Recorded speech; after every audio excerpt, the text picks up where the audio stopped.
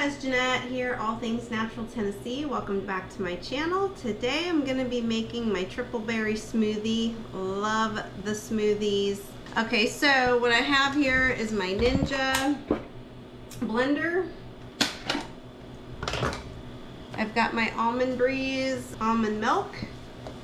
I want one and a half cups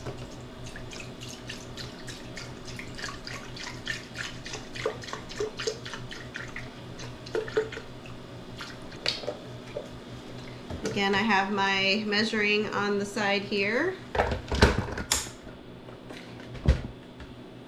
All right, um, I'm gonna do a whole banana. Saving my banana peel.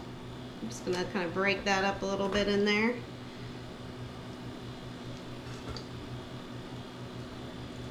I've got some organic strawberries.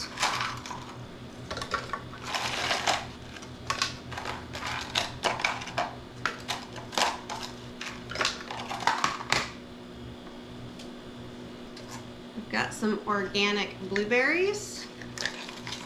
I'm just putting about a handful in there. Maybe a little bit more, especially on the blueberries. Love blueberries they're so good for you.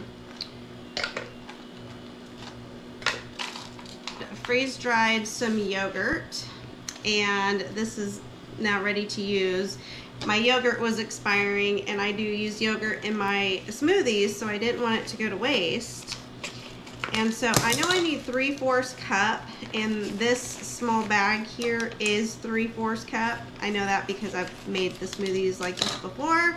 So you can measure out 3 fourths cup and I'm just going to pour this on in there and it will rehydrate as it smooths together with the almond milk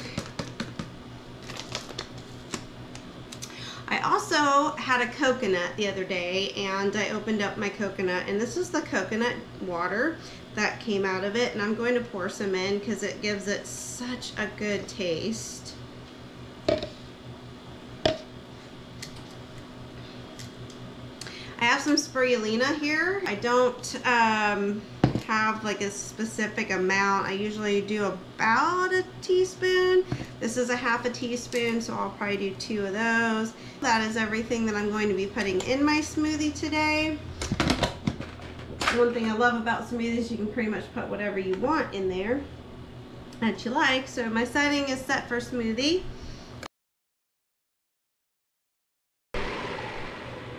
Okay, it's done have a pretty cool little flip top here on this, which I love. Got my two cups here ready with some straws in it. My daughter loves the smoothie as well, so I usually split